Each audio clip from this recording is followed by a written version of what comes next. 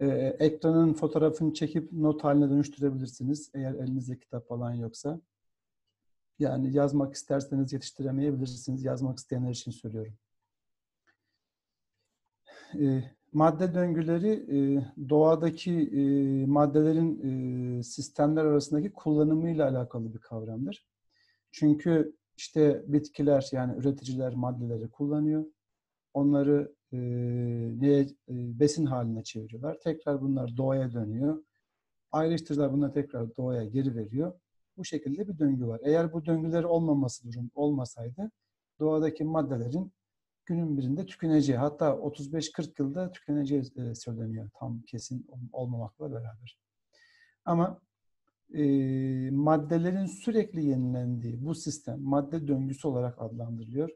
Yani hiçbir madde bir defa değil, bir sonsuza dek en azından şimdilik doğal sistemler arasında dönüşüm olarak kullanılıyor. Biz de bu duruma madde döngüsü diyoruz. E, madde döngüsüyle ilgili bizim müfredatımızda alakalı konular su döngüsü, azot döngüsü, karbon döngüsü, e, oksijen döngüsü vardı onu çıkardılar e, muhtemelen. E, biz de o yüzden almadık. E, su döngüsü temel madde döngülerinin başında geliyor. Su döngüsünün önemi şundan kaynaklanıyor. Çünkü diğer döngülerin de şekillenmesi su döngüsüyle alakalı. Su döngüsü iki şeye göre çalışır. Yer, e, güneş enerjisi ve yerin çekim kuvvetiyle alakalı bir şeydir. E, şöyle baktığımız zaman kısaca yani e, suyun arkadaşlar e, yani hidrosferden, su küreden atmosfere geçmesiyle ilgili kavram buharlaşma ve terleme kavramlarıdır. Eğer bu güneş enerjisini aldığı zaman denizden, sudan geçiyorsa, gölden, akarsudan buharlaşma, bitkilerden geçiyor terleme. Yükseklik arttıkça sıcaklık azalıyor biliyorsunuz. Sıcaklık azaldığı zaman e, gaz halden sıvı ya da katı hale geçiyor. Biz de buna yoğunlaşma ya da yoğuşma diyoruz. Daha sonra devreye yer çekimi giriyor. Kar ya da yağmur biçiminde yere düşüyor. Sonra bu yere düşen yağış e, yüzey akışıyla yani akarsular yardımıyla tekrar kaynağa geri taşınıyor. Aynı zamanda bunun bir kısmı yer altına sızıyor ve yeraltı akışla tekrar ana kaynağa geri geliyor. Güneş enerjisi ve yer çekimine göre çalışan bir sistemdir. Doğadaki temel sistemdir, döngüdür. Çünkü diğer döngülerin de e, işlemesi öncelikle e, buna bağlıdır. Yani su döngüsüne bağlıdır. Su döngüsü zaten bildiğiniz bir konu. Fazla üzerinde durmayacağım. Geçiyorum. İkincisi azot döngüsü, nitrojen döngüsü. Şimdi e, fazla detayına girmeden şunları söyleyeyim. Azot bizim için protein sentezinde kullanılıyor. Yani e, beslenmemizin temel kaynaklarından bir tanesi protein. Bunun için azotun kullanılması gerekiyor. Yani biz e, azotu doğrudan kullanamıyoruz. Biz derken hem üreticiler yani bitkiler hem de tüketiciler yani insanlar ve hayvanlar azotu doğrudan kullanamayız. Azotu bizim kullanmamız için protein formuna geçmesi gerekiyor. Yani beslenme yoluyla bünyemize geçmesi gerekiyor. O yüzden de doğada bol miktarda bulunan bir şeydir azot. Ve burada da belirtildiği gibi yüzde 78 oranında bulunuyor doğada azot. Çok fazla bulunuyor ama biz bunu doğrudan kullanamıyoruz. Bunu e, kullanılabilmesi için bu N2'nin parçalanması yani bunun nitrat haline gelmesi gerekiyor. Nitrat haline gelirse bileşik Nilüfer yazdım değil mi? Nitrat haline gelirse bileşik oluşturabiliyor ve bunu bitkiler e, fotosentez sürecinde, protein sentezinde kullanıyor. Ondan sonra bu bizim bünyemize geçebiliyor.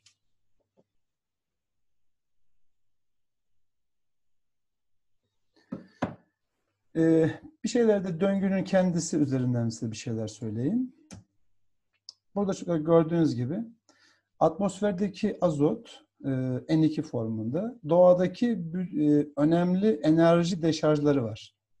Bunlar işte şimşekler, yıldırımlar, efendime söyleyeyim e, gibi olayların N2'yi parçalaması yani nitrat haline getirmesi gerekiyor.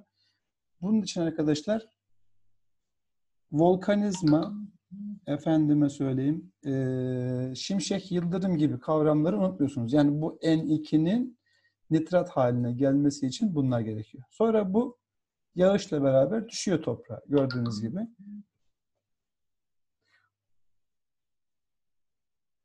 Burada arkadaşlar e, bazı bitkiler, baklagillerin kendine özgü bir durumu var. Onların köklerindeki bazı e, bakteriler ortamdaki azotu doğrudan nitrata çevirebiliyor. Ama bu sadece baklagillere özgü bir durum. Diğer bitkilerin böyle bir özelliği yok. Sonuçta ortamdaki azot yani nitrat, e, nitrojen, nitrat formunda toprağa geçiyor. Enerji deşarjlarıyla ya da baklagiller, e, bazı bakterileri yardımıyla.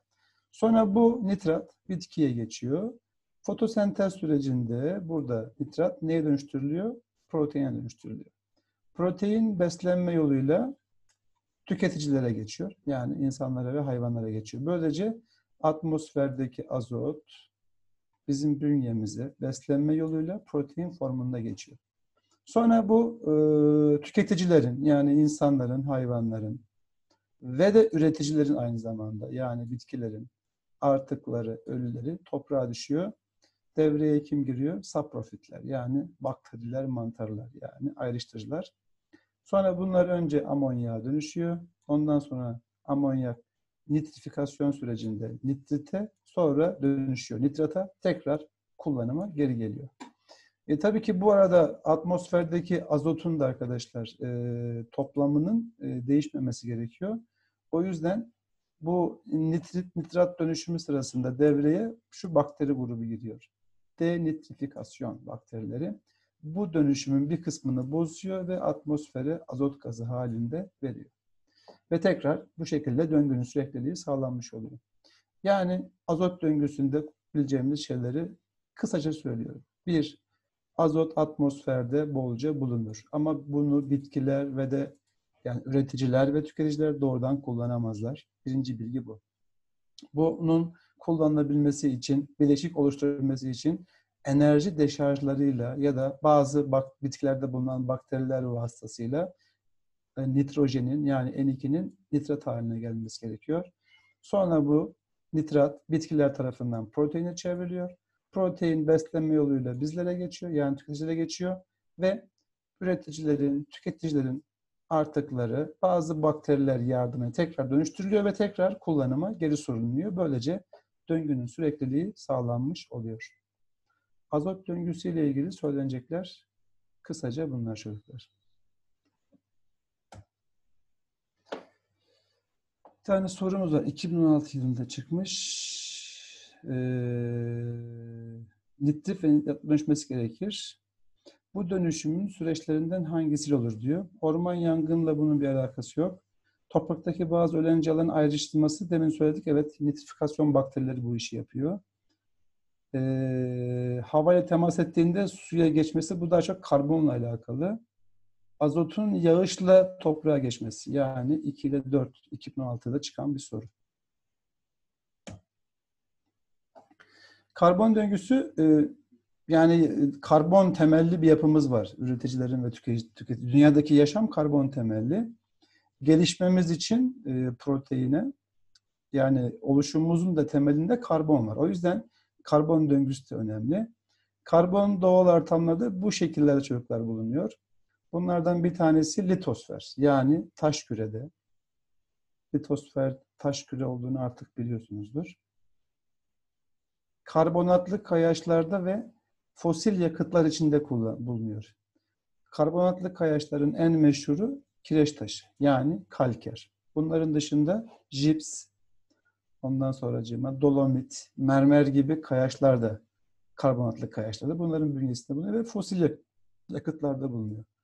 Fosil yakıt dediğimiz biliyorsunuz kömür, petrol ve doğalgazın e, cümlesi. Bunun içinde atmosferde karbondioksit olarak bulunuyor. Karbon monoksit olarak da gaz biçiminde bulunuyor. Hidrosferde yani su kürede, suyun içinde de bulunuyor. Çözülmüş halde karbondioksit ve bir karbonat biçiminde bulunuyor suların içerisinde, denizlerde, okyanuslarda. Biyosferde canlıların da yapısında karbon atomu olarak ya da organik bileşikler şeklinde bulunuyor. Bu bulunuş biçimleri. Burada e, bazı doğadaki bazı süreçler e, ortamdaki karbonu tüketir. Bazı süreçlerde ortamdaki ortama yeniden karbon verir. Ortamdaki karbonun kullanımı tüketim, ortama geri verilmesi de üretim olarak isimlendirilir. Üretim ve tüketimden kastedilen şey bu. Bitkiler fotosentez yaparken atmosferdeki karbondioksiti kullanır, yani tüketir. E, dokular oluşurken karbon kullanılır, yani tüketilir.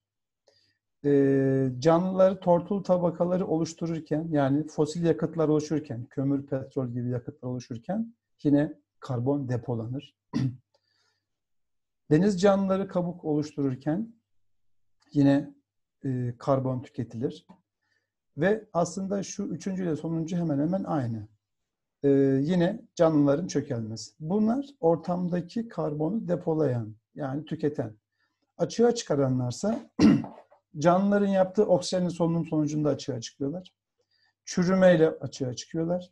Fosil yakıtları kullandığımız, yaktığımız zaman ve genel yanma olayı, mesela orman yangınları, efendime söyleyeyim, anız yangınları gibi e, şurada belirttiğimiz karbonatlı kayaçların kalker gibi onların ayrışmasıyla açığa çıkıyorlar. E, su ile atmosfer arasında bir geçiş oluyor. Yani e, atmosferden suya atmosfere ve yanardağ faaliyetleri. Özellikle e, dalma batma zonlarındaki faaliyetler çok daha fazla üretiyor karbonu. E, çünkü e, dalan levha okyanusal levha olduğu için Onda çok fazla organik madde bulunuyor. Çünkü bu okyanus tabanı ölen her şey dibe çöküyor. O yüzden de özellikle bu dalma batma türü hareketlerin sebep olduğu volkanlarda açığa çok fazla karbon çıkıyor. Bu da üretilmiş olarak kabul ediliyor.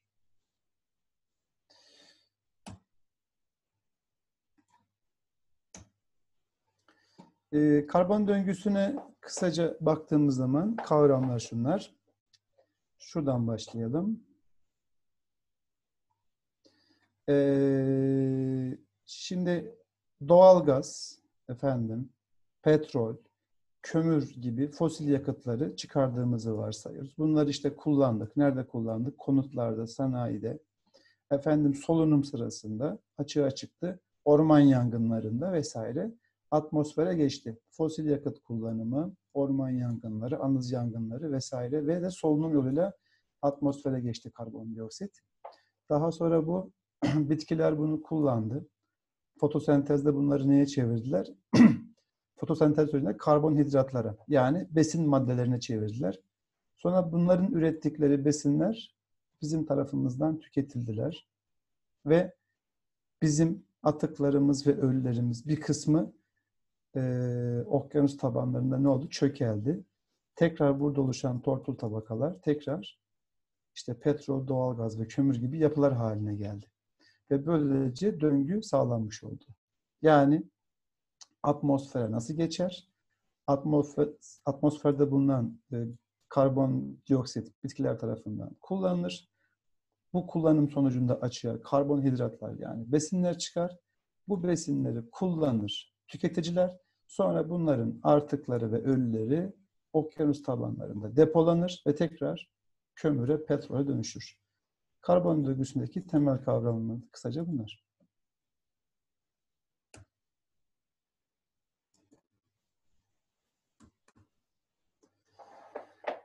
E, su ekosistemlerinin işleyişiyle ilgili söylenecek maddelerimiz şunlar. E, tuzlu su ekosistemleri için şunları bileceksiniz. Bir, okyanus suları hareketlidir. Okyanus akıntıları tür zenginliği bakımından önemlidir. Çünkü okyanus akıntıları olmasaydı eğer ekvator şimdikinden çok daha sıcak olacaktı. Kutuplar da şimdikinden çok daha soğuk olacaktı. Bu da dünya genelindeki biyoçeşitliliği etkileyecekti. Onun dışında sıcak ve de soğuk okyanus akıntılarının karşılaştığı alanlar tür zenginliğinin fazla olduğu yerlerdir. Efendim sıcak bir okyanus Gulf Stream gibi kutba yakın bir yere kadar gidebiliyorsa ya da Peru soğuk su akıntısı gibi soğuk bir akıntı ekvatora yakın bir bölgeye kadar gelebiliyorsa bunlar tür zenginliğini artıran şeyler. Su ekosistemindeki en önemli mevzu şudur arkadaşlar. Şu mavi işte renkle taranmış bölgeler. Bunlar mercan resifleri. Mercan resifleri tuzlu su ekosisteminin yağmur ormanları gibidir. Bunlar okyanuslardaki tür zenginliğinin en fazla olduğu yerlerdir. Burada da zaten bakın görüldüğü yerler yazılıyor. İşte Hint Okyanusu, Karayip Hint Okyanusu, Karayipler, Filipinler, Endonezya çevresi ve Avustralya şurası büyük bariyer resifi diye geçiyor. Dünyadaki en büyük organizma diye isimlendiriliyor.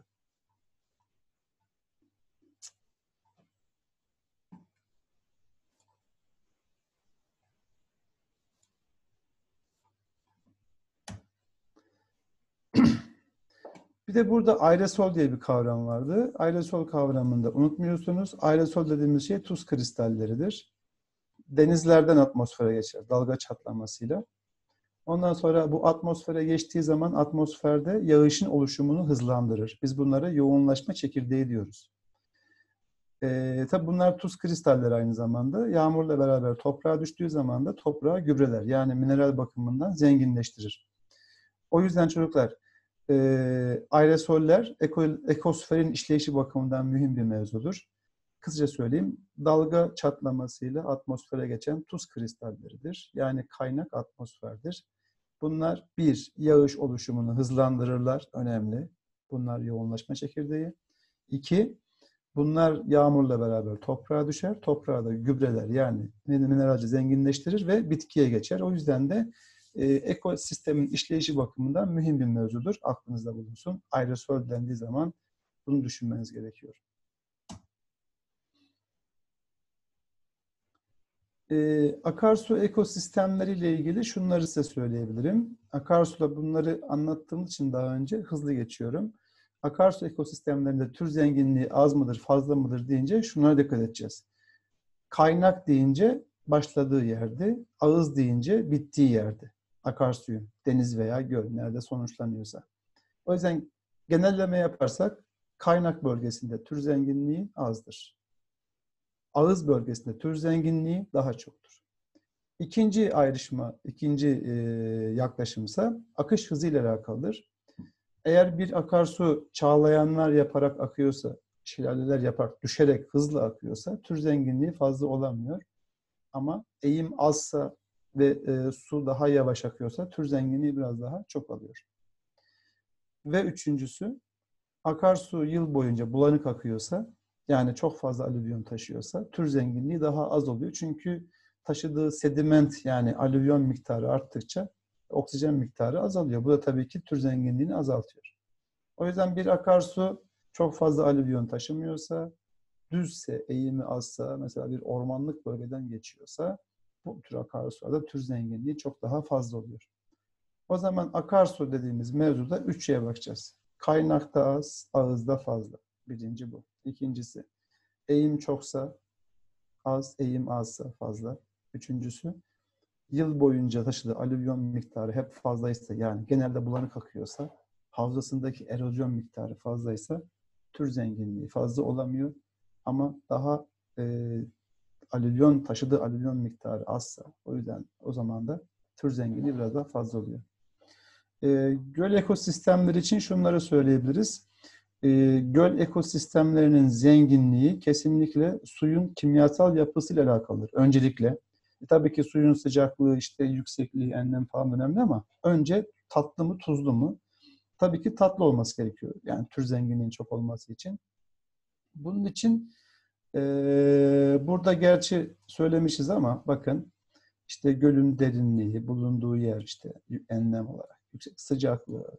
Ama asıl burada mevzu şu yuvarlak içine aldığım gölün gideyen durumu. Yani göl sularını yer üstünden bir yere gönderebiliyorsa veya yer altından biz buna gideyen diyoruz. Bu gideyen sorularda göl ayağı diye gelebilir. Ayak. İkisi aynı şey. Eğer gölün gideyeni varsa suları tatlı olur.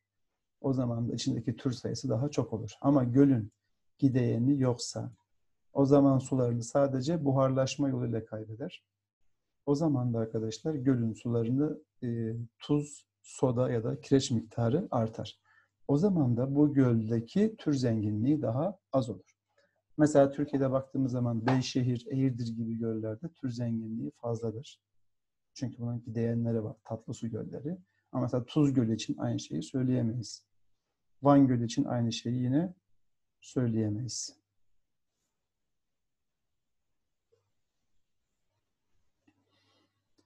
Efendim.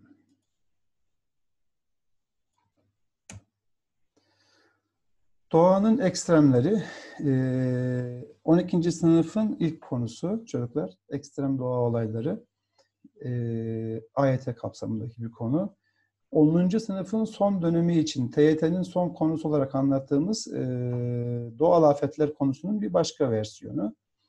Buradaki süreçlerden bahsedeceğiz. Yani ekstrem olay nedir? Bunlar nelere bağlıdır? Dünyanın neresinde görülür? e, ekstrem süreçleri oluşturan faktörler neler olabilir? Yani bir şeyin olağan dışı seyretmesi, bir doğal sürecin. Onlardan bahsedeceğiz. Yani doğal afetler konusuna paralel bir konudur. Bence çok fazla bir farkı yok bana sorarsanız. Burada tabii şunu bilmek lazım. Ekstrem, uç, aşırı e, deyince genelde aklımıza bir şeyin çok yüksek olması, fazla olması geliyor. Ama bilin ki bunun çok düşük olması da bir ekstrem doğal süreç olabilir. Yani depremin çok düşük olması ekstrem bir durum değildir ama yani e, yağışın çok az olması mesela ekstrem bir durum. Yağışın çok az olması da ekstrem olabilir. Yağışın çok fazla olması da ekstrem bir durum olabilir. E, yani sadece en yüksek gibi düşünmeyin. Ama bilmeniz gereken şey şu. Her bölgede gelişen doğal süreçlerin işte yağışın, sıcaklığın, fırtınanın, basıncın bir ortalama durumu vardır. Biz buna zaten iklim diyoruz ortalamasına. Eğer doğal süreçler, işte bunlar ne olabilir? Meteorolojik olabilir, jeolojik, geomorfolojik olabilir ya da astronomik de olabilir. Eğer bu süreçler arkadaşlar olağan ortalamalarının çok üstünde veya çok altında seyrediyorsa o zaman bunların bazı sonuçları oluyor. Biz de bunlara doğanın ekstremleri diyoruz. Şimdi bunların size detayından birazcık bahsedelim. Astronomi kökenli doğa olay. Astronomi köken dediğimiz zaman zaten bir şey akla geliyor. O da hepinizin bildiği gibi şudur. Asteroid ya da meteor çarpması dediğimiz şey. Şimdi bu çocuklar asteroid çarpmasından kastettiğimiz şey şu. Doğada e, yani bu atmosfer e, uzayda bildiğiniz gibi her şey hareket halinde. Çok küçük olanları var. Bir santim çapında falan. Bunlara diyor ki meteoroid. Bunlar zaten atmosfere girdiği zaman yanıyor. Biraz daha büyüyünce bunlar meteor oluyor. Ee, bunların şey e, çapları belli bir şey geçince asteroid haline geliyor. Yani bunun e, ekstrem bir sonuç çıkarması için asteroid seviyesinde olması gerekiyor. Ee, bunlar dünyaya çarptığı zaman e, yüzlerce atom bombası etkisi yaratabilir. Çünkü bunların hızları 40 bin kilometreye kadar çıkabiliyor. Yani bunlar bir mermiden e, ne bileyim e, bir 5-10 kat daha hızlı yol alabiliyorlar. Güneşin de dünya etrafındaki hızı çok yüksek. Bu iki cismin çarpışması yüksek hızdan dolayı açığa müthiş bir enerji çıkarıyor. E, zaten bu asteroid çarptığı zaman tamamen eriyor ve havaya tekrar karışabiliyor. Hatta öyle şeyler söyleniyor ki mesela dinozorları yok eden çarpışmada e, havaya saçılan parçaların aya kadar gittiği söyleniyor mesela. Ki tabii bu bir teori yani bundan tam emin değiliz ama bu da olabilecek bir şey. Ve oluşan şok dalgaları dünyayı birkaç defa dolaşıyor ve e, bütün canlı yaşamın, ekosferin işleyişini tamamen ortadan kaldırabiliyor ve en son e, çarpışmada e, günümüzden 65 milyon yıl önce meydana geldiğini biliyoruz. Bu arkadaşlar çarpışmanın sonucunda e,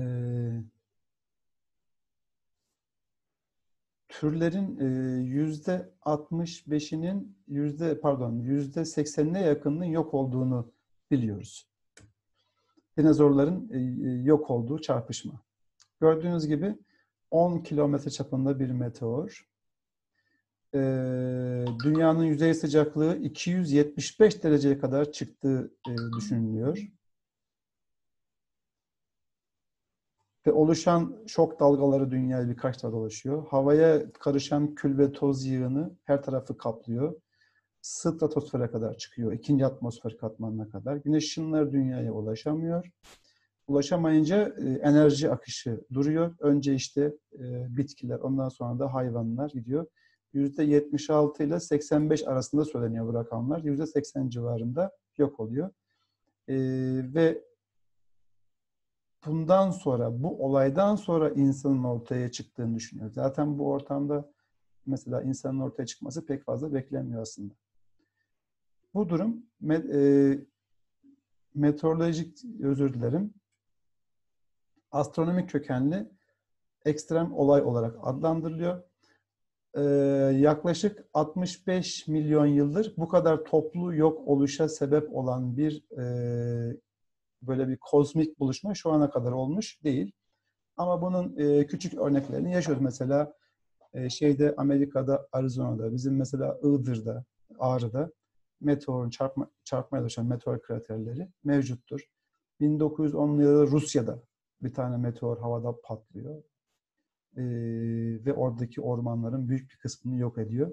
Ama dediğim gibi ekstrem diyebileceğimiz yani dünya ekosferinin işleyişini etkileyecek e, en yakın kozmik buluşma günümüzden 65 milyon yıl önce olduğunu kabul ediyoruz. Meteorolojik kökenli doğal ekstrem e, doğal süreçlerin işte ekstrem duruma gelmesi çok yüksek ya da çok düşük sıcaklıklar. Ee, bu özellikle arkadaşlar yaz döneminde yüksek sıcaklıklar, kış döneminde ise düşük sıcaklıklar. Bir defa e, bunların daha çok orta kuşakta görüldüğünü söylemek mümkün. Çünkü ekvator çevresinde mesela çok düşük sıcaklık görme şansımız, kutuplara yakın yerde ise çok yüksek görme şansımız pek yoktur. Ama şunu da söylemem gerekiyor. Ee, 25 derecelik bir sıcaklık Temmuz ayında Ankara için Ankara için nedir çocuklar? Ortalama 24-25 olağan bir sıcaklıktır. Yani Temmuz ayında sıcaklığın Ankara'da 30 derece olması öğlen vakti 25-30 derece olması olağan bir durumdur. Ama bu 25 derece mesela Oslo'da olursa Temmuz ayında ki Oslo biliyorsunuz Norveç'in başkenti, kutba yakın bir yer. Oslo'da bu ekstrem yüksek bir olaydır. 30 derece yine. Aynı 30 derece mesela Mekke'de olursa, Arabistan'da Temmuz ayında bu orası için de ekstrem düşük bir olay sayılabilir. Yani her bölgenin kendi normallerine göre bir yorum yapmamız gerekiyor. Bu tür sorularda bölgedeki ortalama durum hakkında bir fikrimizin olması gerekiyor. Yani bunun ekstrem bir doğa olayı sayılması için çok yüksek sıcaklığın ya da çok düşük sıcaklığın. Fırtınalar ve tropikal kasırgalar. Tropikal kasırgaların arkadaşlar görüldüğü yerler ekvator e, çevresidir. Ekvator çevresinin yani yaklaşık işte 30 e, kuzey enlemiyle yaklaşık 30 güney enlem arasında görülüyor. Dünyada görüldüğü yerler işte Güneydoğu Asya yani bu işte Hindistan, Çin, Filipinler, Kuzey Avustralya e, ve Meksika Körfezi çevresinde yani e, Karayip Denizi'nde görülüyor. E, Tayfun, Cyclone, Hurricane gibi isimlerle isimlendiriyor. Havanın, sıcak havanın hızlı yükselmesinden kaynaklanan bir durumdur. Deniz üzerinde oluşuyor ama karaya ulaştığı zaman çocuklar çok ciddi zarar verebiliyor. Çünkü oluşan fırtına, efendim oluşan aşırı yağış, deniz suyunun yükselmesi ve karaya doğru ilerlemesi bunun zararını artırıyor. Bunlar e, dünyada en çok görüldüğü yerler Güneydoğu Asya ile e, Karayipler dediğimiz Orta Amerika civarında çok fazla oluyor. Karaya ulaştığında e, yağış tabii ki e, bundaki nemi azaltıyor. Nemi azaldığı zaman da etkisi azalıyor. Yani buna enerji veren şey nemdir. O yüzden bunların oluşabilmesi için, tropikal kasırgaların oluşabilmesi için havanın çok sıcak ve çok nemli olması gerekiyor. Özellikle okyanus sıcaklığının 26 santigrat derecenin üzerine çıkması gerekiyor. Bu çok sık olan bir şey değildir. Yani bu çok böyle e, her zaman olacak bir değil fakat olduğu zaman da çok büyük zarar veren bir durumdur. Kuzey yarımküre için e, bunun e, pek yani bizim bulunduğumuz ortak kuşakta pek olma ihtimali yoktur. Bir de bunun benzeri Amerika'da tornado dediğimiz şey var. Hortumlar var. Bunlar da kasırgalara benzer ama yani e, tornado ya da hortum denen şey bir ne bileyim, mahalleyi etkiler. Ama tropikal kasırgalar atıyorum 5-6 ülkeyi aynı anda etkiler. Yani bunlar oluş kapsam bakımından daha e, geniş kapsamlı doğal afetlerdir ve ekstrem olaylardır. Hortumlarsa daha dar alanlı ve daha kısa süreli doğal olaylar. Mesela bir kasırga atıyorum 10 e, gün boyunca sürebiliyor, devam edebiliyor. Ama tornado dediğimiz şey birkaç dakikada ortaya çıkıp yok olabiliyor. Şimdi bir ara verelim çocuklar. Aradan sonra devam edeceğiz. Mesela e, Türkiye üzerinden size örnek vereyim. Mesela Ankara'da yağış miktarı e, yıllık işte 300-400 milimetre civarında. Ama Rize'de 2400 milimetre civarında. Yani e, diyelim ki e, Rize'de meydana gelen normal bir yağış Ankara için ekstrem bir durum ortaya çıkarabilir. Aynı şekilde e, ne bileyim Sahra çölünde meydana gelen çok az bir yağış ekstrem olarak dikkate alınabilirken aynı yağış Güneydoğu Asya'da, Hindistan'da, Çin'de yani bu muson bölgesinde çok düşük olabilir. Sonuç olarak şunu söylemeye çalışıyorum. Her bölgenin kendi normallerine göre bir yorum yapmamız lazım. Yani şu miktarın üzerinde olursa ekstrem yüksektir veya düşüktür diyemeyiz. Ortalamalara göre yorum yapmayı unutmayın. Bu işin temel felsefesi bu. Ee, bölgelerin yıllara göre ölçülmüş ortalama yağış değerlerinin çok üstüne çıkan ya da çok altında kalan, aşırı yağışta gerçi üstünde kalanlar kastediliyor. Muson ve ekvator çevresinde olabilir bunlar diyor. Aşırı yağışlar beraberinde bazı e, şeyleri de getirebiliyor. Yani ekstra doğal afetler. Bir afetin diğerini tetiklemesi. Yani aşırı yağış bir doğal afettir. Bu neyi tetikleyebilir? Sel baskını, taşkınları. Bu neyi tetikleyebilir? Heyelanları vesaire gibi. Ee, dünyada görüldüğü yerler Muson Asyası ve ekvator çevresi. Kuraklık e, uzun süre bir ardışık yıllar boyunca yağışın beklenenin çok altında olması anlamına gelir çocuklar. Şu e, derste de bunu size söylemiştim ve hatta sınavın da birinde çıkmıştı galiba. Şu renklendirilmiş bölge Sahel bölgesi diye adlandırılıyor. Yeryüzünde, dünyada kuraklığın en çok e, et, e, hissedildiği, etkilediği insan sayısının da en fazla olduğu bölge bu bölgesi. Yani bu Senegal, Mali, Nijer, Çad ve Sudan e, ülkelerini kapsayan Sahel bölgesi diye geçiyor bölge olarak. Yani şu savan bölgesiyle çöl bölgesi arasında kalan bölge. Eskiden burada da savana yakın koşullar varmış ama yağış ciddi biçimde azaldığı için ya da çöl etki alanını güneye doğru kaydırdığı için bu bölgede uzun süreli bir kuraklık var. Kuraklıktan dolayı taban suyu seviyeleri düşüyor, kaynaklar kuruyor. Bölgedeki göller kuruyor, akarsular kuruyor ve burada yaşayan insan sayısı da zaten neye göre biçimlenmiş? Daha önceki yağışa, doğal kaynaklara göre biçimlenmiş ve şu anda burada çok müthiş bir şey var. Gıda yetersizliği var. Aynı zamanda da su yetersizliği var. Sahel bölgesi dediğimiz yer harita üzerinde gösterilen renklendirilmiş yerdir. Dünyada kuraklığın en şiddetli olduğu yerdir ve buradaki insanlar yani bir günlük kullanacak suyu temin edebilmek için 20 kilometre gibi yolları yürüyerek ya da işte hayvanlarla gidip geri gelmek zorunda kalıyorlar. Burası dünyada bu kuraklık işinin en yaygın olduğu yer. Ve dünyanın da küresel biçimde ısındığını biliyorsunuz artık ve o zaman da bu Sahel tarzı alanların çöllerin çevresinde oluşacağı, dünyanın bazı yerlerinde de buna benzer durumların ortaya çıkacağı düşünülüyor. Bizim Türkiye için bu daha çok İç Anadolu ve Güneydoğu Anadolu bölgesinde etkisinin görüleceğini e, düşünüyoruz. Ama dediğim gibi e, şu anda en etkili olduğu yer burasıdır ve bölgenin ismi Sahel bölgesidir. Burada da bakın yazıyor 30 milyondan fazla insanın bu nedenle öldüğünü geçtiğimiz yüzyılda 1900 yıllarda 30 milyon çok büyük rakam. Yani mesela şu anda koronavirüs e, muhabbeti var biliyorsunuz. Şu ana kadar yaşamını yitiren insan sayısı 30 bin civarında galiba. Ee, ve 30 milyon insan ölmüş yani geçtiğimiz yüzyılda. Sorular e, hangisine kuraklık ekstrem bir doğa olayı olarak değerlendirilmez diyor çocuklar. Mesela e, burada neye bakmamız lazım? 3 e, numara çöl, 5 numara çöl. Bunlar zaten kurak yerler. Yani burada zaten yağış miktarı 200 milimetrenin altında.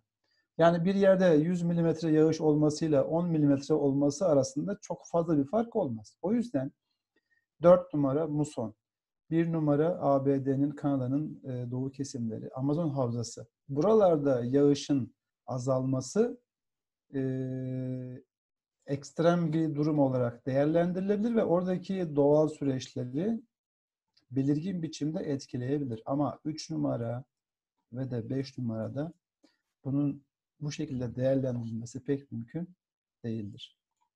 Çıkmış sınav sorusu yılını yazmamışım ama 2010'dan sonraki bir sorudur yani.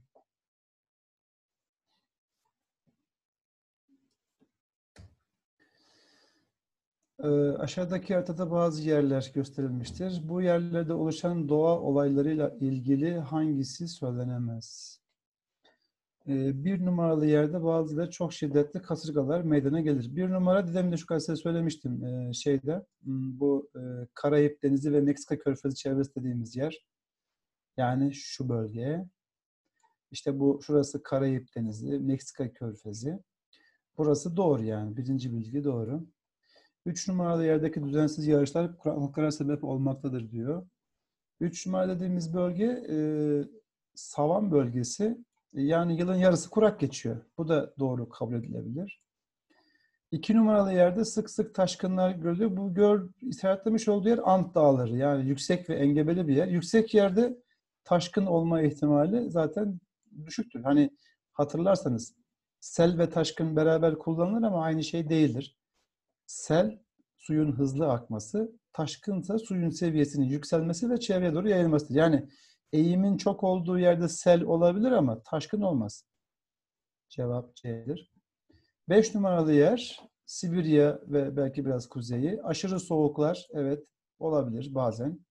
4 numaralı yer e, Himalaya dağlık bölgesi. Aynı zamanda dünyadaki önemli risk alanlarından bir tanesiydi. Depremler meydana gelebilir doğru. Çünkü kutsal H'miz vardı hatırlıyorsanız. Bir kere daha size yerini göstereyim. Kutsal H'mizin. Şurası. Şurası. Ve şöyle şurasıydı. Bu soru özelinde söylemiyorum. Bu çizgilere yakınsa deprem riski fazla, uzaksa deprem riski az demiştik. Hani aklımızda kalsın diye.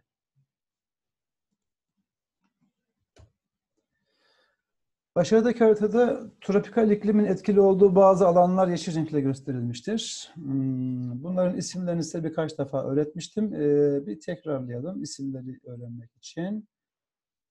Hmm, şurası ne havzası çocuklar? Duyar gibi oluyorum. Amazon havzası. Şurası Kongo havzası. Şurası da Endonezya adaları. Hangisi söylenemez? Tür sayısı fazladır, söylenir. Bitkilerin büyümesi hızlıdır, sıcak ve nemli her zaman söylenir. Yetişme dönemi kesintisizdir. Evet burada bir kurak veya soğuk mevsim yok.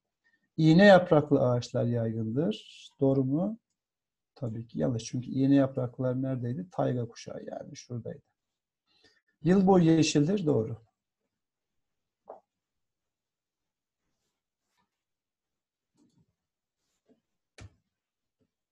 Jeolojik ve jeomorfolojik kökenli ekstrem doğa olayları. Ee, jeolojik diyorsa yerin iç yapısıyla alakalı bir mevzudur. Yani işte fay hattı var mıdır, yok mudur gibi. Jeomorfoloji diyorsa yüzeyle ilgili. Eğim mi, dağ mı, ova mı? Yani jeomorfolojik neyle alakalı? Yüzey yapısıyla ilgili. Jeolojik ise doğrudan iç yapıyla ilgili unutmayınız. Depremler, e, bildiğiniz gibi depremler üç gruptur. Doğal yer sarsıntıları, çökme depremleri vardı. Karstik bölgelerde mağaralar çökerse. Bir de volkanik depremler var, aktif yanardağlar. Bunların çevresinde olabilir ama asıl deprem deyince akla gelmesi gereken şey tektonik depremlerdir. Yani levha hareketlerinin sonucunda olan depremlerdir. Hangi tür levha hareketleri depreme yol açıyordu? Ee, karasal karasal yakınlaşma, Himalaya bölgesi. Yanal levha hareketi vardı. Yan yana geçiyorlardı. San Andreas fayı Amerika'nın batısındaki ve Türkiye'deki Kuzey Anadolu fay hattı. Ve de dalma batma dediğimiz okyanusal ve karasal levhaların karşılaşma alanları en çok deprem üreten levha hareketleriydi. Demin size e, H harf çizerek gösterdiğim yerden bahsediyor. Bakın Pasifik Ateş Çemberi, Alp Himalaya Kıvrım Sistemi, Kayalık ve Ant Dağları Kıvrım Sistemi, Afrika'nın doğu kesimleri. Bu demin gösterdiğimiz yerdir. Yani mesela burada da şuna bakmamız lazım. Diyelim ki Richter ölçeğine göre 5 şiddetinde bir deprem olsun. 5 şiddetindeki bir deprem sizce Japonya'da ekstrem bir durum mudur, değil midir? Japonya zaten yılda 5-6 bin depremin olduğu bir yer. O yüzden bu Japonya'da ekstrem bir durum değildir. Ama 5 birlik bir deprem atıyorum nerede olsun depremin beklenmediği bir yer. Mesela Norveç'te olsun mesela. Norveç biliyorsunuz bu fay hatlarına uzak bir yerdir. Ama Norveç'te bu şiddetli ekstrem bir durum olarak değerlendirilebilir. Çünkü orada depremin olma ihtimali zaten çok düşük. Yine deminki mantığa geldik. Neye göre cevap veriyoruz bu tür sorulara? Ee, normallere, beklentilere göre. Ee, dünyadaki şiddet depremler Pasifik Ateş Çemberi çevresinde oluyor. Ee, şuradan bir tane geri gidip size bir tane harita bulmaya çalışayım. Onun üzerinden anlatmaya çalışayım. Herhangi bir harita bizim işimizi görür. Savan geldi. E çocuklar harita ekranda mı?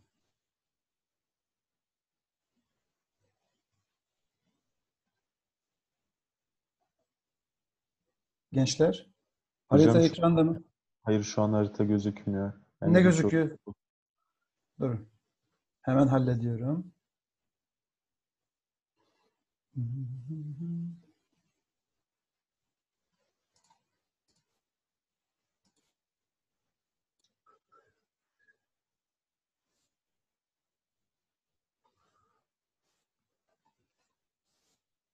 Şimdi geldi mi? Evet hocam şu an geldi. Heh, tamam gençler. Şimdi e, bugüne kadar 9 şiddetinin üzerinde çocuklar gerçekleşmiş depremlerin olduğu yerler e, bu demin çizdiğimiz H harfinin olduğu yerlerdi. Bir tanesi şurası Şili'de meydana gelmiş. Burada niye kalınlaşınca kötü yazıyor? Şu bölge arkadaşlar.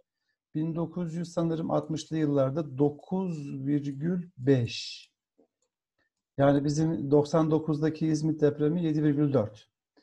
Ee, Şili depremi. Ondan sonra Alaska depremi yine 9'un üzerinde. Ondan sonra şurası Kamçatka Yarımadası Rusya'da. Burada olmuş. Japonya 1911'de Sunda yok Sunda değil. Şu anda adın aklıma gelmiyor. Japonya'da e, olmuş ve Sumatra depremi 2, 2004 yılında. Bunlar bugüne kadar e, ölçülmüş en şiddetli depremler. Yani ekstrem diyebileceğimiz deprem. 9 ve üzeri. Herhangi bir yapının dayanma ihtimali yok bu tür depremlerde. Ama mesela Şili'dekinde 2000 kişi mi ne ölmüş sadece? Çünkü çölde olmuş deprem yani. Nüfus yoğunluğu az. Alaska depreminde yine 140-150 kişi ölmüş. Burada insan hiç ölmemiş galiba. Çünkü nüfus yoğunluğu çok az. Japonya'da olan o e, depremde 15 bin kişi öldü ama depremden sonraki tsunami'de çok insan öldü. 2004 e, yılındaki Sumatra adasında olan depremde e, şu bölgede mesela bakın Sri Lanka'da, Yemen'de, efendim Somali'de, Madagaskar'da insanlar öldü. Ortaya çıkan tsunami'den dolayı. Yani bu büyük depremler sadece bulunduğu bölgeye zarar vermiyor. Yani çevresindeki alanlara da zarar verebiliyor. Tahminlere göre 240 bin kişi öldü diye hatırlıyorum. Yani 210 bin ile 240 bin arasında değişiyor rakamlar. Bu çok büyük bir deprem. Bunlar bugüne kadar ölçülmüş 9'u geçen ekstrem diyebileceğimiz depremlerdir. Ee, yani bayağı yüksek ekstrem hem de. Ee, 1615 yılında galiba Çin'de bir deprem olmuş çocuklar. Ama bu tabii o zaman e, 1615'te ölçme şansımız yok. 830 bin kişinin öldüğü söyleniyor. Yani bu da çok büyük bir rakam. Ölü sayısı üzerinden düşünürsek. Ekstrem depremlerin görüldüğü yerler. Yani gene aynı noktaya geldik. Farkındaysanız kutsal H harfini yapıyoruz. Ve gördüğünüz gibi bunların olduğu yerlerle çocuklar ne oluyor? Yaklaşık olarak bunlar örtüşüyor. Bu çizgilere yakın. Deprem riskinin ekstrem yüksek depremlerin olmayacağı yerler. Kuzeydoğu Kanada, Grönland. İskandinav ülkeleri, İsveç, Norveç, Finlandiya.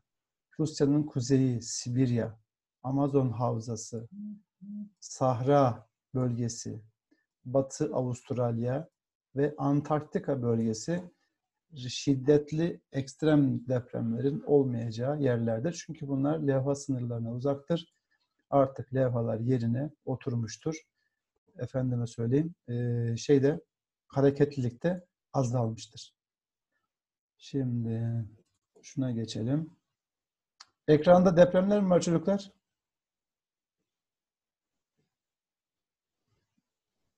Gençler? Evet, evet hocam depremler Ha. var. Tamam, sıkıntı yok. Geçiyoruz. Volkanik olaylar e, süper volkanlardan çocuklar bahsediyor. Normal bir volkan patlaması değil. Volkanik süreçlerde eğer ekstrem bir volkanik mevzu meydana gelirse e, çıkan e, lavlar, küller, tarım alanlarını, yerleşim alanlarını zarar verir. İnsanlar göç etmek zorunda kalır. Dağların tepesindeki arkadaşlar buzulların erimesine sebep olacağından lahar adı verilen e, çamur akıntılarının böyle çimento gibi akıntıların oluşmasına sebep olur ki bunlar çok yıkıcı etkiye sahiptir. Bütün tarım alanlarını üstünü kapatır. Bütün köprü, bina ne varsa her şeyi yıkar. Patlama sırasında açığa çıkan gaz ve tozlar bir araya gelir ve piroklastik dediğimiz, piroplastik diye de çıkıyor bu, piroklastik diye de çıkıyor. İkisi de aynı şey. Yani bu nasıl bir şey? 700-800 derece sıcaklığında toz ve gazlardan oluşan bir dalga böyle üstünüze doğru geliyor veya üstünüzden geçiyor. O yüzden bütün bitkiyi, tarım alanını, insan canlı olan her şeyi öldürme durumu var. Bu piroklastik akıntıların. E, patlamalar sonucunda büyük heyelanlar meydana gelebiliyor. Demin de söylemiştim bir doğal süreç başka bir doğal süreç tetikleyebiliyor. Eğer bu volkanik patlama okyanus tabanlarında meydana gelirse e, suların sıcaklığını, kimyasal yapısını değiştirip canlılarda toplu ölümlere yol açabiliyor. E, ve havaya çıkan küller bazen troposfere kadar, troposferi geçip stratosfer tabakasına kadar çıkıyor. Dünyanın çevresinde yayılıyor ve küresel iklim değişimlerine sebep oluyor. Bu tip şeylere volkanik kış adı veriliyor. Ee, sanırım hangi yılda? 1800 mü? 1816 mı? Tam şu anda hatırlamıyorum çocuklar. Tombaro yanardağı var Endonezya'da. O patlıyor. Havaya çıkan bu küller dünyanın stratosfer tabakasını kaplıyor ve o sene e, yaz mevsiminde sıcaklıklar bütün dünyada düşük oluyor. Çünkü güneşler, güneş ışınları tozlara çarpınca enerjiye dönüşüyor. Yere ulaşamıyor. Bu da e, tarımsal üretimde falan ciddi azalmalara yol açıyor. Ve o yaza 1816 olması lazım. Şey diyorlar.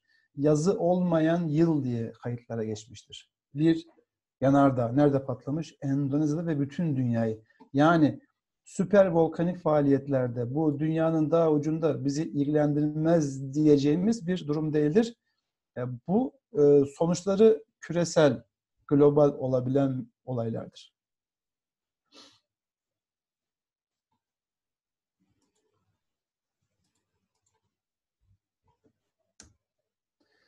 E, tsunami kelimesi Japonca kökenli bir kelime çocuklar. liman dalgası anlamına geliyor. deniz tabanında meydana gelen şiddetli depremler. Bir. İkincisi deniz tabanında meydana gelen şiddetli volkanik faaliyetler. Üç. deniz tabanında, okyanus tabanında meydana gelen e, heyelanlar, kütle hareketlerinin tsunami'ye yol açtığını biliyoruz. Ama e, tsunami deyince aklımıza yüzde 90 küsür gelmesi gereken şey depremlerdir. Deniz tabandaki depremlerdir. E, yine e, tsunami'nin Hint Okyanusu'nda ve Pasifik Okyanusu'nda meydana gelmesini bekliyoruz. Ama Atlas Okyanusu kıyılarında pek meydana gelmesini bekle, beklemiyoruz. Çünkü Atlas Okyanusu'nda uzaklaşan levhalar var. O yüzden de orada çok böyle büyük depremler üretilmiyor. Ama Hint Okyanusu çevresinde ve e, Büyük Okyanus çevresinde bu tip durumlar meydana gelebiliyor. Deniz dibinde kırılma olunca çocuklar önce deniz bir çekiliyor. Çünkü orta kesimleri yükseliyor denizin. Deniz çekiliyor. Sonra bu yükselen kısım karaya doğru yıkı yıkılmaya başlıyor. Karaya doğru geldiği zaman kıta sahanlığına gelince sürtünmeye başlıyor birinci dalga ve hızı düşüyor. Arkadan gelen dalga hala hızlı olduğu için onun üzerine yığılıyor. Sonra onun hızı düşüyor. Arkadan bir daha geliyor. O üstte üstte yığılıyor ve böyle 30 metre bir su duvarı düşünün. Yani ne, ne kadar olsa işte 5-6-7 katlı bir bina yüksekliğinde ve saatte 150-200 kilometre hızla size doğru geliyor. Bu tabii ki e, büyük bir e, yıkıma sebep olabiliyor. Gördüğünüz gibi saatteki hızları 800 kilometre kadar çıktığı görülmüş bugüne kadar ve çok büyük bir zarar veriyor. Çünkü bu hani karaya geldiği zaman belli bir süre sonra artık su olmaktan çıkıyor. Yani karaya geldim taş, toprak, araba içinde ne varsa katı bir akıntı haline geliyor ve önüne gelen her şeyi yıkıyor. Bunu önlemenin falan çok net bir yolu yok. Hani büyük duvarlar falan yapılabiliyor ama önlem sınırlı. Bunun için okyanuslara, okyanus tabanlarına, bu işin olma ihtimali olan yerlere e, sensörler yerleştiriliyor ve e, deniz tabanında meydana gelen depremlerden sonra tsunami uyarısı yapılıyor ve bunlar da gör, şeylerle, medya araçlarıyla insanlara duyuruluyor. Yapılacak bir tek şey var. Yani bulunduğunuz yer alçak bir yerse e, yüksek bir yere çıkmaktan başka bir şey yok. Yani önlem yok yani.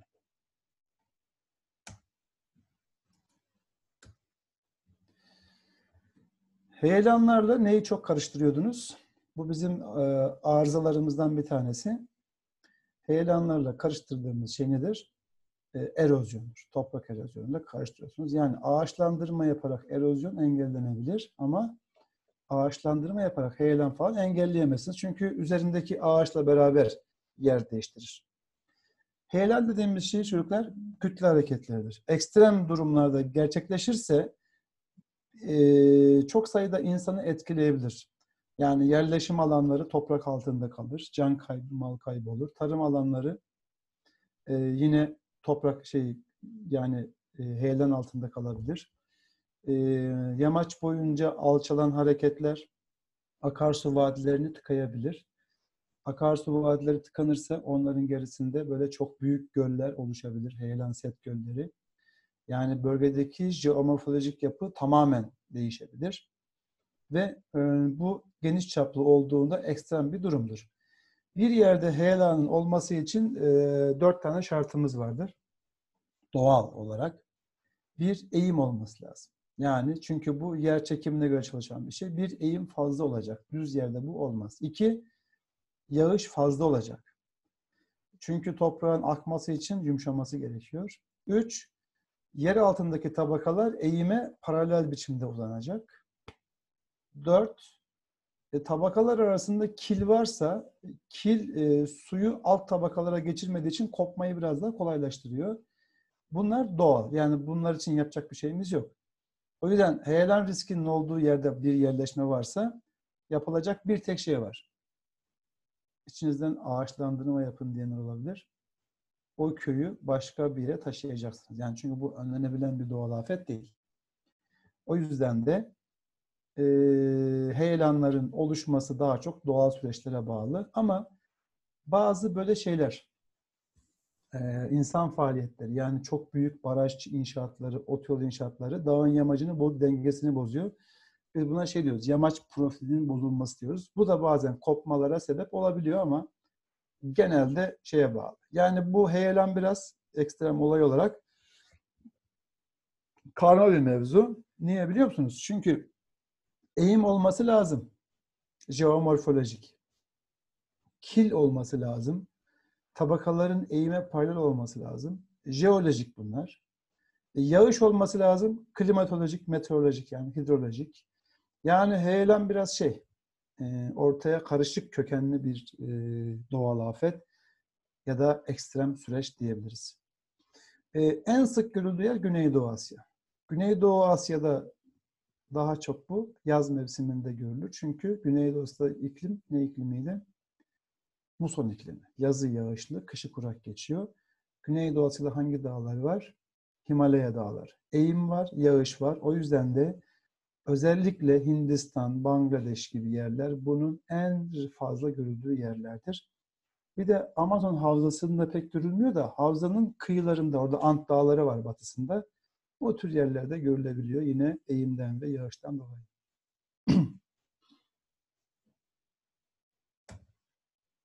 Türkiye'de heyelanların en fazla görüldüğü yerler %90'ı Karadeniz bölgesinde görülüyor. Karadeniz bölgesinde heyelanlar en çok hangi mevsimde oluşuyor? Daha çok ilkbaharda oluşuyor. İlkbaharda neden oluşuyor dediğim zaman bana söyleyeceğiniz en yanlış cevap çoğunun şu anda içinden geçiyor. Hocam yağış arttığı için diyorsunuz ama yanlış oluyor. Çünkü Karadeniz bölgesinde yağışın en az olduğu mevsim ilkbahardır.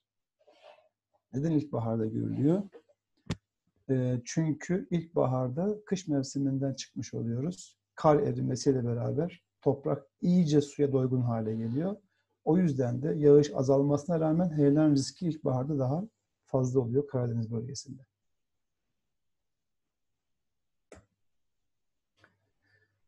Ee, doğadaki değişim e, dediğimiz mevzu arkadaşlar. Burada e, oku kitabında küresel ısınmadan bahsetmiş.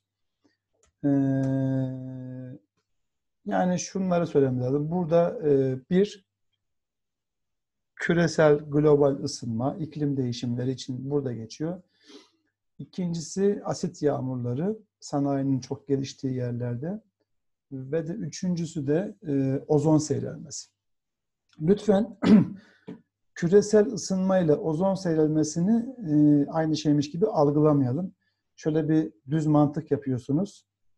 E, şey diyorsunuz. E, dünya işte ozon tabakası delindi, dünyanın da sıcaklığı artıyor. Bu, bu kadar e, yani birbiriyle bağlantısı var ama bu kadar e, dümdüz düşünmeyin. Bu alakalı bir şey değil yani. İkisi farklı küresel problemler. Dünya neden çok fazla ısınıyor? Çünkü sanayi devriminden sonra yani yaklaşık bir 250 sene önce dünyadaki arkadaşlar fosil yakıt kullanımı arttı. Yani sera gazı salınımı, emisyonu arttı. Çünkü biz neyi çok kullandık? Fosil yakıtları çok kullandık. Yani önce kömür, ondan sonra petrol ve doğalgaz. Bunları yaktığınız zaman açığa ne çıkıyor? Karbon dioksit çıkıyor. Neden bu dünyayı ısıtıyor? Çünkü e, şurası arkadaşlar yeryüzü olsun mesela. Şurası da atmosferin dış sınırı olsun. Yani dünyaya birim zamanda atıyorum 100 kalori enerji geliyorsa tekrar bu 100 kalorinin birim zamanda uzaya geri gönderilmesi gerekiyor. Yani aldığımızın ve verdiğimizin denk olması gerekiyor. Bakkal hesabı gibi. Eğer bu 101 olursa buzul devrine girersin. Eğer bu 99 olursa o zaman da ısınırsın. Şu anda biz e, atmosferdeki karbondioksit miktarını artırdığımız için artık bu 100 olmuyor. Atıyorum 99 oluyor. Yani e, aldığımız enerjinin tamamını ışıma yoluyla uzaya geri gönderemiyoruz. Bu da dünyanın sıcaklığını artırıyor. Dünyanın aslında ısınması normal çocuklar. Şu anda ısınmamız normal. Çünkü biz buzul çağından çıktık. Şu anda bir buzul arası devirdeyiz. Ama e, dünyanın sıcaklığı son işte 100 yılda 1 santigrat derece artmış. Buna normal diyebilmemiz için bunun yaklaşık e, bin yılda olması gerekir diyorlar doğa bilimciler. Ama bu biz bunu ne kadar zamanda yapmışız? 100 yılda bu hale getirmişiz. Bu tabii ki bir derecenin lafı mı olur hocam? demeyin. Çünkü dünyanın ortalama sıcaklığı 15 derece. Ve bu gezegende bulunmamızın sebebi su olduğu içindir. Sadece su olduğu için değil çocuklar. Bu da çok önemli. Burada su üç halde de yan yana bulunabiliyor. Katı, sıvı, gaz. Bunun bir oranı var. Bu oran değişirse ekolojik işleyişte sıkıntılar ortaya çıkmaya başlıyor. Eğer siz dünyanın sıcaklığını artırırsanız suyun katı sıvı gaz dengesini bozuyorsunuz. Katı sıvı gaz dengesi bozunca ne oluyor? Buzullar eriyor, deniz seviyesi yükseliyor, havadaki su buharı miktarı artıyor. Su buharı miktarı arttıkça iklimler kararsızlaşıyor. Öngöremediğimiz olaylar oluyor. Bir yerde sel baskınları, başka bir yerde kuraklık olabiliyor aynı yıl içerisinde. Kararsızlaşma meydana geliyor. Efendim, ısındığı için dünya e, göçmen hayvanların göç rotaları, göç zamanları değişiyor. Bitkilerin işte çiçek verme, çiçek açma ayları, haftaları değişiyor. Ve tabii ki e, hava çabuk ısınıyor fakat kararsızlıktan dolayı bir anda soğuk bir dönem oluşabiliyor mesela bahar başında. Bu oradaki işte üremeye çalışan hayvanların yumurtalarının dolmasına, çiçek açan bitkilerin o sene meyve vermemesine yol açıyor. Ve dolayısıyla e, ekolojik işleyiş bozuluyor. Balıkların işte yayılmış alanları değişiyor. Tropikal bölgede bulunması gereken hayvanlar orta kuşakta görülmeye başlıyor. Bu oralardaki ekolojik zincirleri olumsuz yönde etkiliyor. Yani mesela gerçi burada insanda payı var da balon balığı diye balık var. Şu anda Akdeniz'i istila etmiş. Hatta Tarım Bakanlığı şey yapmıştı. Ee, yakalayıp kafasını getir, kuyruğunu getirene kafası zehirli çünkü para veriyorlar. Çünkü diğer balıkların üremesine engel oluyor. Süveyş kanalı açıldı ve e, Hint okyanusu civarında olan bu balon balığı artık Akdeniz'i istila etmiş durumda ve oradaki ekolojik dengeyi bozmuş durumda. Aklıma gelen çok basit bir örnek mesela. Onun dışında deniz seviyesi yükseliyor. Özellikle arkadaşlar dünyadaki tarımsal üretimin çok net olduğu mesela e, bizim Çukurova gibi delta ovaları, tarım alanları su altında kalıyor. Ve bildiğiniz gibi dünyada nüfusun en çok toplandığı yerler kıyılardır. Buralar su altında kalıyor. Ee, bazı yerlerde böyle su altında kalıyor, yağış artıyor, sel oluyor. Bazı yerde ise bu kuraklığa yol açabiliyor. Deniz seviyesi yükseliyor. O yüzden de tatlı su, tuzlu su birbirine karışıyor yer altında. Yani bu tatlı su temininde bile güçlüklere sebep olabiliyor. Sonuçta deminden beri verdiğim örneklere dikkat alırsanız dünyanın bu şekilde ısınması pek hayra alamet sonuçlar ortaya çıkarmıyor.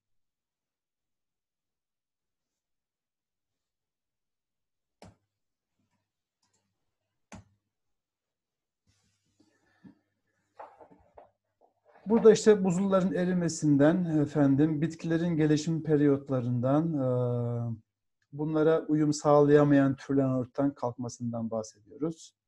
Küresel ısınmanın etkili yüksek enlemde bulunan bazı alanlar tarım alanı için elverişli. Ha bu da enteresan bir durum. Mesela Sibirya'da, e, Sibirya'nın kuzey kanadının bazı yerlerinde bugün ekonomik olarak bir değeri olmayan bazı yerlerin gelecekte çok verimli tarım alanları haline geleceği düşünülüyor e, buralardaki sıcaklığın artmasına bağlı olarak. E, şimdi küresel ısınmayla çocuklar neyi karıştırmayın demiştim? Ozon seyrelmesi. O farklı bir şey. Ozon seyrelmesi havadaki e, işte aklınızda bulunsun. Ne diye geçiyor onlar? C, F, C türü gazlar. İşte sanayide kullanıyoruz buzdolaplarında, klimaları, klimalarda, deodorantlarda itici, basınçlı gazlar. Bu gazlar ozon tabakasına kadar çıkıyor. Ozon dediğimiz şey O3'tür. Buradaki bir tane oksijeni koparıyor ve onu neye çeviriyor? O2'ye çeviriyor. Bu da ozon tabakasındaki seyrelmeye sebep oluyor. Ozon tabakasının işlevini biliyorsunuz. Ozon tabakası güneşin yaydığı zararlı ışınların dünyaya ulaşmasını engelleyen bir katmandır. E, bu katmandaki e, seyrelme artarsa o zaman şu anlama geliyor. E, cilt kanseri olma riskimiz eskiye göre biraz daha fazla anlamına geliyor. Ve şunu diyor doğa bilimciler, eğer ozon tabakası olmasaydı karasal yaşam olamazdı. Karalarda yaşam evrilemezdi. Yaşam muhtemelen sadece su içinde olurdu diyorlar. E ne kadar doğru bilmiyorum ama ozon sermesinin mantığı bu. E, bununla ilgili bazı işte dünyada çalışmalar var. İşte Kyoto protokolü falan gibi. Ama bunlar ülkelerin çoğunluğunun pek uyduğunu söyleyemem size. Ama bu da bir küresel problem. Diğer küresel problemimiz asit yağmurlarıydı. E, bu da işte sanayinin geliştiği yerlerde e, kükürt türü gazlar atmosfere çıkıyor sanayi bölgelerinde. Oradaki suyla birleşince e, şey oluyor hepinizin bildiği tembelcisiniz ama Hasan 2 Salak Osman 4 bu şeydi galiba sülfürik asit haline geliyor ve resmen halen asit yağıyor. Yani tarım alanlarını, bitkileri, küçük canlıları yani böyle böcekleri, şunları bunları direkt öldürüyor. İnsanda falan böyle tahrişlere, solunum yollarına tahrişlere yol açıyor. Hatta böyle dışarıdaki tarihi eserlerin falan işte aşınmasına falan yol açıyor. Bu da şu anda dünyada bunun en net görüldüğü yer Çin.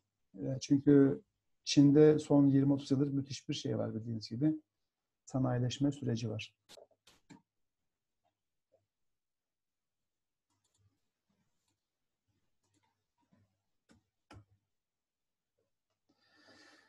Bu konuda 2015 yılında çıkan bir soru varmış. Haritada numaralarında koyu renkle göstermiş 5 bölge ve bölgenin dördünde insan etkilerine bağlı olarak doğal sistemde meydana gelecek değişimlerin ait tahminler verilmiştir diyor. Hangisi hakkında bir tahmin verilmemiştir? Şimdi hangisi hakkında bilgi var yok ona bakacağız. Bitki örtüsündeki aşırı tahribat dünyanın akciğerleri. Dünyanın akciğerleri diyorsa bu nedir arkadaşlar? Tropikal yağmur ormanlarıdır. Yani neresidir? Amazon'dur. O zaman bu A değil. Buzulların erimesine bağlı olarak deniz seviyesinde meydana yükselme burada yaşayan insanların yer değiştirmesine sebep olacaktır diyor. E, şu bölge kıyıda gördüğünüz gibi. Kıyıda olduğu için de bu burada yani çok da fazla insan da var bildiğiniz gibi. O zaman 5'te bu olması lazım küresel ısınmaya bağlı olarak atmosfer sıcaklığının artması bölgedeki buzulların erime sürecini hızlandırır diyor. O zaman muhtemelen bu da Grönland'dır. İklim değişimine bağlı olarak yağışlardaki dengesizlik bölgedeki çölleşme süreci zaten bu Sahel bölgesi size ilk derste bunu anlatmıştım. Bu olabilir. O zaman burada dört ile alakalı bir mevzu yoktur diye düşünüyorum. Şimdi çocuklar bugünkü e, konu anlatımımız böyle. Bundan haftaya beşeri sistemlere geçeceğiz. E, size bir de bu anlattığım konularla ilgili testler hazırlayacağım. Böyle e, beğendiğim sorulardan meydana gelen. Onları da size bir ders mesela